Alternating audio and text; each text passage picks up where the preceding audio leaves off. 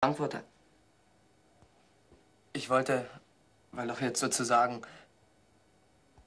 Ich meine, wir sind doch jetzt alle hier. Und da wollte ich Sie fragen, und auch Sie, Frau Frankfurter, Nun ziehe dich nicht, als ob du um meine Hand anhalten willst. ich möchte Rosa heiraten.